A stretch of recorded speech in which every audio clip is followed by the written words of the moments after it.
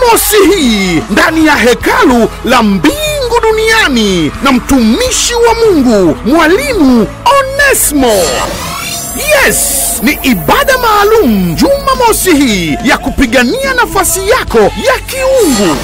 Ndiyo, kila mtu ana nafasi yake ya kiungu ambayo wengi wamezuilika na adui kuingia kwenye nafasi zao, na hii kuwafanya wao kuishi chini ya kiwango walichokusudiwa na Mungu. Shuhuda zitafurika kwa msaada wa Roho Mtakatifu.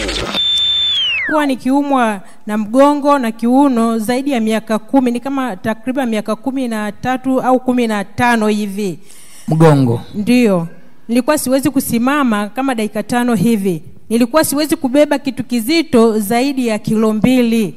Nimezunguka mahospitali mengi nimetumia dawa nyingi na x-ray nyingi mri skani nayo nilikuwa natumia vidonge mia tano arobaini kwa mwezi. Nimetumia zaidi ya miaka minne. Vidonge mia tano arobaini kwa mwezi. Imagine. Ninaumwa familia ilikata tamaa hospitali wakanipa mpaka kidonge kimoja cha mwisho wakaniambia hichi ni cha mwisho. Usipopona basi tena. Nikamwambia mungu yatosha. Kama mungu ninakutumikia sihitaji kuteseka tena sasa. Nikaja kwenye maombi. Watumishi wa mungu kweli msikate tamaa. Amen. Madhabahu haya yanajibu. Amen. Ilipofika wakati wa kushiriki meza ya bwana nikamwambia mungu kwenye kitabu cha kutoka kumi na moja moja ulisema leo itakuwa pigo la mwisho.